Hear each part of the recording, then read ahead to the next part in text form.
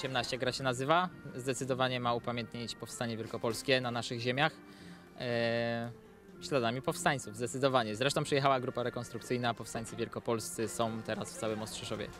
Skąd ten pomysł? Skąd bierze inspirację? 99. rocznica Powstania Wielkopolskiego w przededniu setnej. Chcemy, żeby już dać zaczyn do myślenia o tym, bo mm, nie upatrujemy e, efektów w jednorazowych działaniach, tylko w tym, żeby inspirować pewne, długo, pewne długofalowe e, działania, które e, no, zwiększą, podniosą pamięć historyczną o tych wydarzeniach po prostu w przyszłym roku. Przygotowania trwały od maja tego roku. Grę obstawia e, 60 około, nie tylko harcerzy, bo angażujemy w nasz projekt, także chce się angażować nasza społeczność i, i coraz więcej osób po prostu nam pomaga.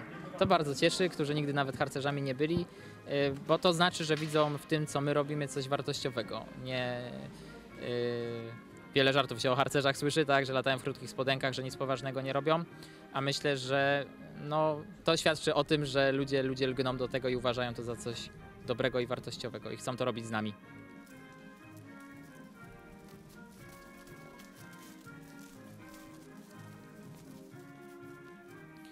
Patrole muszą odnaleźć 10 powstańców, którzy są poukrywani e, na terenie całego Ostrzyszowa. Żeby tego dokonać, muszą dowiedzieć się, gdzie oni są, czyli pomóc tu i tam. Dopiero ludzie jakby dadzą im pewne informacje, które posłużą im do odnalezienia powstańca. E, takich powstańców jest, jak, jak mówiłem, 10. Em, Trudne to będą zadania przed uczestnikami? Zależy od kategorii. Mamy dwie kategorie, kate- kategorię weteranów i kategorię rekrutów. Rekru- rekruci em,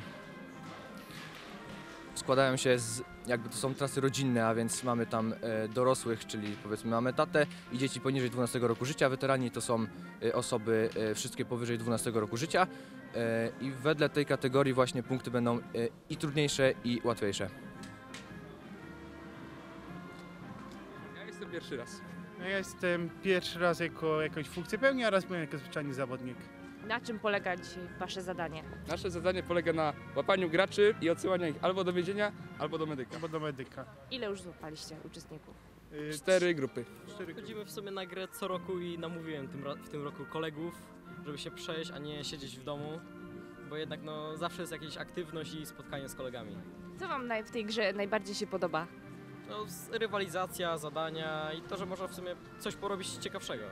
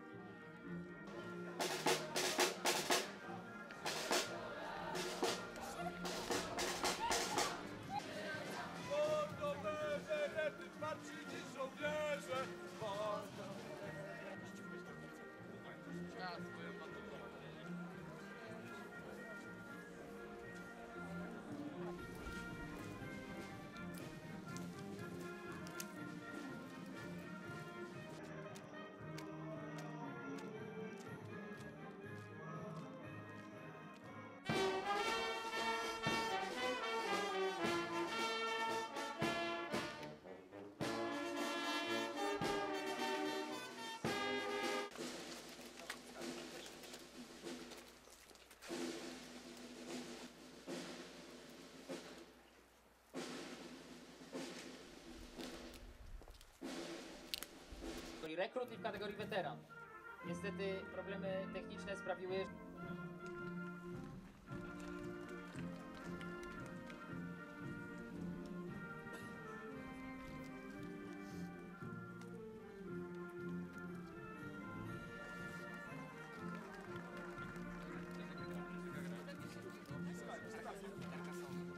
jest pierwsze miejsce w kategorii weteran.